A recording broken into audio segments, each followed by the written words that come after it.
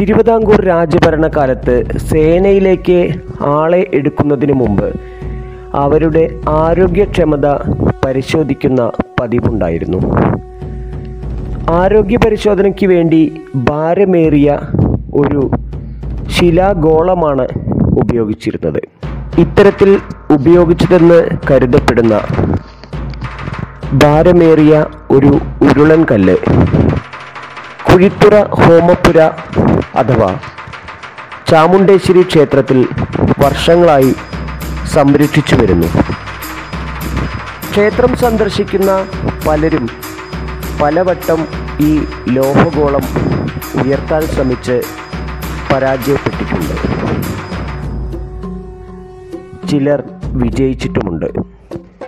ശുചീന്ദ്രം സ്വദേശി അമ്പത്തിയെട്ട് വയസ്സുകാരനായ മുരുകൻ എന്ന വ്യക്തി വളരെ അനായാസമായി ഈ കല്ലിനെ ഉയർത്തി തോളിലെടുത്ത് ക്ഷേത്രത്തെ വലം വയ്ക്കുന്ന ദൃശ്യങ്ങൾ സമൂഹ മാധ്യമങ്ങളിൽ വൈറലായിരുന്നു.